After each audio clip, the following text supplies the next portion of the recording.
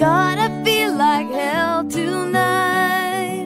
The tears of rage I cannot buy.